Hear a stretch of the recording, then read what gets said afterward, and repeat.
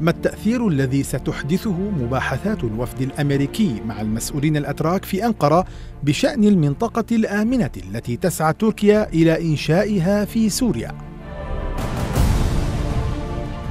ما طبيعة هذه المنطقة الآمنة؟